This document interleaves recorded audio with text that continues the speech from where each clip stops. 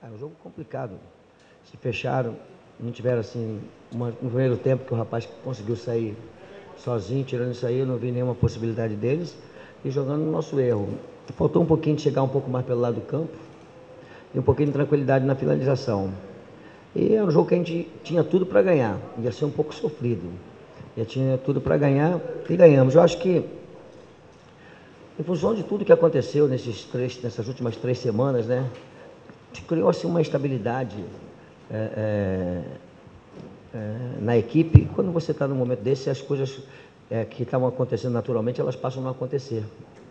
Aí complica. Então agora eu acho que com a vitória volta a bola bater, em vez de para fora, ela bate e vai para dentro, em vez de bater na cabeça do cara e sobrar para o outro, sobra para nós.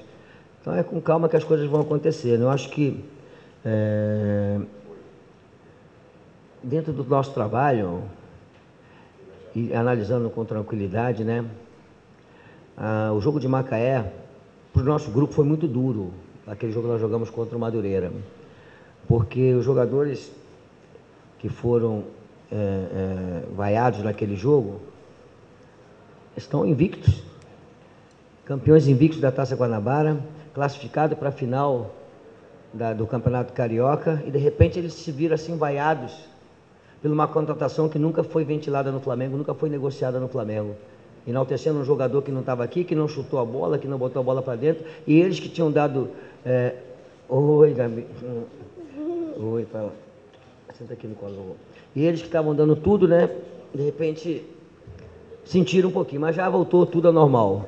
Já está no caminho certo e, e, com certeza agora nossa saída para Atibaia para trabalharmos vai dar para a gente poder botar as coisas tranquilamente no lugar.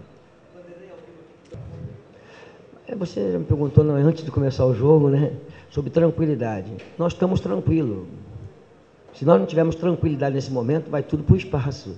Então nós estamos tranquilos sabendo tudo o que está acontecendo e interpretando e trabalhando o momento da forma como tem que ser trabalhado. Se você perder a tranquilidade, vai tudo para o espaço. Tem hora que você tem que ser um pouco grosso, um pouco agressivo, depois você puxa o play de mão, faz tudo parte do processo. Então nós estamos no caminho certo. A ida Patibaia, ela, ela não é um retiro, é, um, é uma intertemporada. E, e eu tinha projetado isso quando nós fomos jogar em Fortaleza, que nós classificamos jogando contra o Fortaleza, que eliminamos, já tinha programado há três semanas atrás a ida para Atibaia, porque nós vamos entrar na reta final da competição agora. Então é importante nós estarmos juntos e trabalhando e focando e direcionando para a reta final da competição. Se o Vasco amanhã tropeçar, o, o, americano tropeçar, no mínimo só no segundo, podemos ser até líderes da competição. Então tem que se preparar para aquilo que vai acontecer na frente. É, é normal isso em São Paulo. São Paulo isso é muito normal você fazer uma intertemporada, você, os clubes de São Paulo, quando vai chegar na parte final da competição, eles saem para um, um local lá para poder se preparar.